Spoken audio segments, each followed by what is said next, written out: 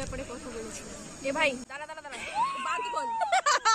Friends তো আজ আমরা চলে এসেছি কলেজে। আর দেখো কলেজে বানাতে শুরু করে কলেজে দেখো এই এই শিবানী কি করছিস এটা?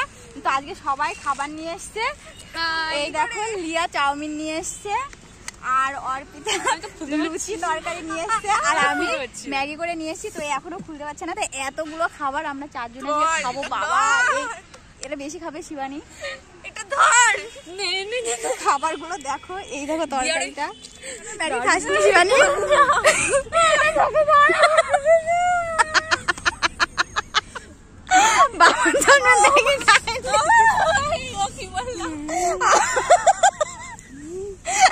ভগবান কি সেলিব্রিটি হয়ে গেলাম আমি? এই দেখো এখানে সব রাক্ষসীর পাল খেতে বসেছে।